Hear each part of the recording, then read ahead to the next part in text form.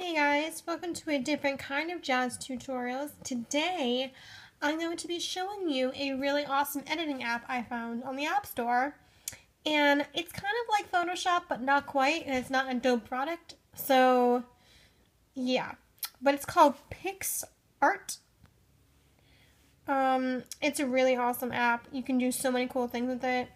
Um, if you're an artsy person and can draw, they have a drawing section in the app I don't really draw much. I'm not really good at drawing on the app kind of stuff. But um, if you are, cool. There's an, a part for that.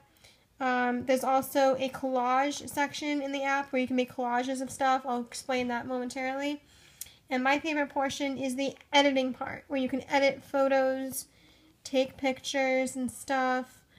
Um, so let me briefly show you how to make something in here. Um, I'll go to my camera roll. Um, I'll use this photo here. Now, keep in mind though, when you're editing, if you want to add like different like textures and things onto it, like you would in Photoshop, you're going to have to save those to your camera roll. So go onto google.com and type in random textures you want to look like a blue texture, pink, red, whatever kind of texture you want. And if you save your texture to your camera roll, we can utilize that in this app, which is really cool. So I've taken this photo here. Now they have a cool thing on the bottom here, um, various effects and stuff you can do. You can add text, you can add a lens flare if you want. Um, lens flare has a bunch of cool options. Look at all these options you have for lens flares. Pretty fucking sweet, if you ask me. But one thing I want to um, make you aware of, though, um, not so much in the editing portion of this app, but if you're in the background or collage app portion, um, it'll have a check mark up here. If you push the check mark, it's going to make everything you've done variously so far into one layer, and there's no undo. So you got to be careful, but I'll explain to you about that momentarily when we get into that section of the app. So on the editing portion, you can have effects. Um, they have a whole bunch of stuff. Like it varies from black and white all the way to like vintage and really cool stuff. Um, my favorite and the thing about this too is you can fade the effects out. So that's pretty cool. And if you want to get rid of an effect, um, if you don't want to use the, the this portion of the effects, if you hit the plus button, it'll give you different ones. So you can go to artistic. Pop art is my favorite though, because look at this one here at the end.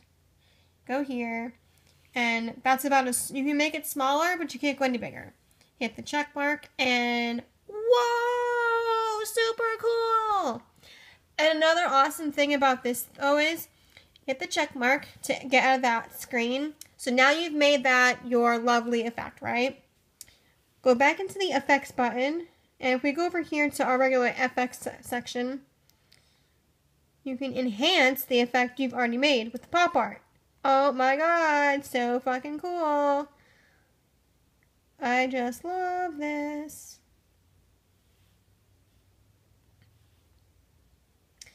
All right, so we're doing that one there. And then let's go over here to our, um, where is it? Frames.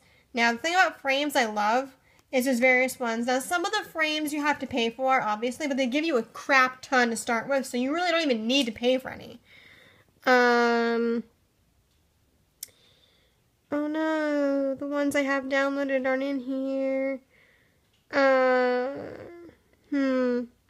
Alright, well anyway, if I were to add this here on top of it, look how cool it looks. Oh my god, so nifty. You know I'm going to download those frames I wanted to use because those are really cool frames. So let's go over here. Oh, they are downloaded. Okay, weird. Anyway, if you, I love this one here. This is like a really cool, like, oh my god, how cool is that? It looks like, and you can resize it too. So now it looks like a photo frame and check mark that. And then, oh, oh, wait a minute, guys. We're going to add one more effect to this to make it really cool and stand out. Go to paper. Oops, nope, I want paper. Paper.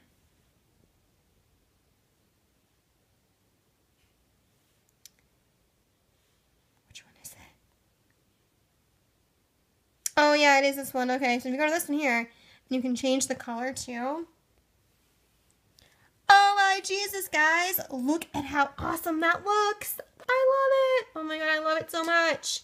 All right, well, that's the editing portion of the app. Let's go and talk about the actual collage portion of the app. So we'll get out of that.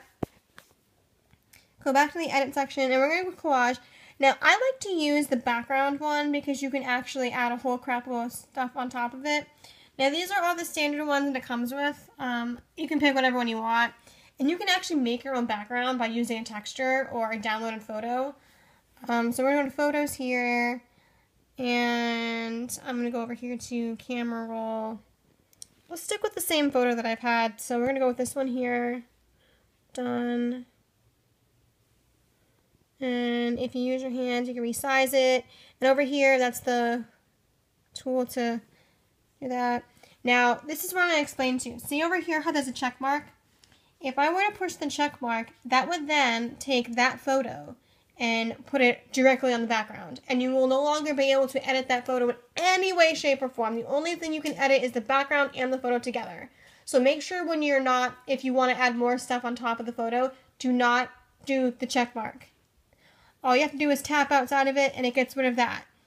So you can keep editing the photo. But whatever you do, do not do the check mark until you're completely satisfied with your photo. That's what I'm saying. All right, let's go over here to um, this button here. This will let you add more photos. So let's go to photos. I'm going to add a texture on top of that. Camera roll. Um, let's go with that.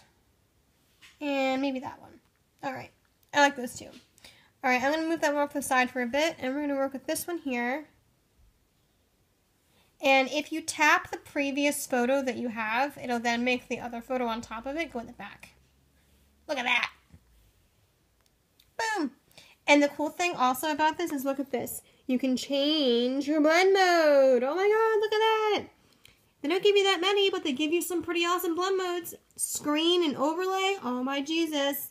Screen that little piece and oh my god, I love it. Oh my god, it's so beautiful. Now let's go over here. Take this one. Set this one to screen as well. Oops, that's a multiply. Oh my god, so much awesomeness. Oh my god, that's so much beautiful. And you can alter the opacity on that. And voila, you have a cool photo. So now when you're done, hit the check mark. All right. And then I'm going to go over here to my tool selector, which is over here in the corner. And I'm going to select the crop tool. And I'm going to crop out the part of the photo that I want to use.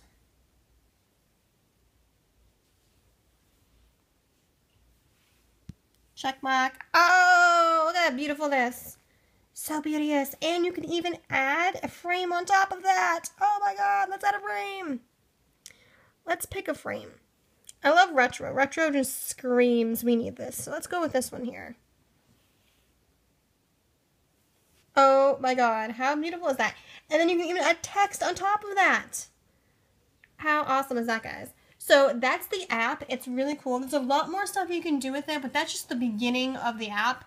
Um, so download the app if you want to have cool, awesome on-the-go um, effects. If you're in like a car on a long ride somewhere and you want to add some photos, there's an app for that. If you want to make cool Tumblr um, graphics, you got an app for that. So yeah, Photoshop is now mobile in a different um, company. So yep, I hope you enjoyed this um, video. It's different. We don't usually do videos like this on my channel. Usually I'm in Photoshop doing stuff with you guys, but I thought this was a perfect idea and I thought you'd appreciate this, you know, me reviewing an awesome app. So if you guys like me reviewing awesome editing apps and things like this, I will do more in the future. If you don't, then I won't. And one more thing about the app I thought I should share with you guys. When you're in making your edit, and you accidentally hit the X or the back button while you're editing, it's going to delete everything. You'll have to start all the way over from scratch. So make sure that when you're editing, you don't touch the X in the left corner or the back button in any... Well, I mean, the back button in the effects and all that stuff is fine, but when you're in the actual thing, like, let me just show you briefly before I go.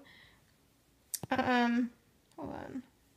Let's go into collage. So if you go to the background, just select a random background.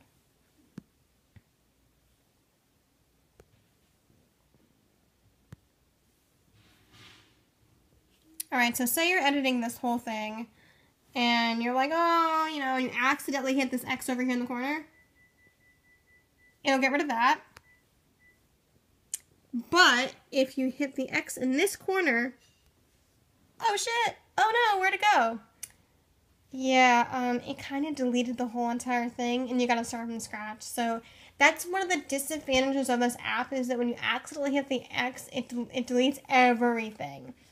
Um, there is a way I think you can save your stuff if you have an account with them. But I don't really need an account because I don't really use it for that reason. I just use it, save it, and post on other random sites. So I just thought I would let you guys know that you got to be careful about that because I've made one too many mistakes with this app and it's really annoying. I just thought I would share this cool app with you guys. And, um, all right. Um, I'll see you guys next week. Bye.